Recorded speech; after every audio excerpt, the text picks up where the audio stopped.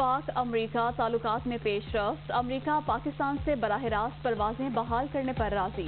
वज़ीर अजम के मोबन खसूसी सलमान सूफी की बाइडन इंतजामिया से बातचीत। अमरीकी फेडरल एविएशन अथॉरिटी का पी आई ए परवाजों की बहाली पर इतफाक